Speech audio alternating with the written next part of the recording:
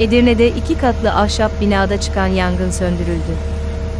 Baba Demirtaş Mahallesi, Karanfiloğlu Caddesi'ndeki metruk binadan duman yükseldiğini gören çevre sakinleri itfaiyeye haber verdi.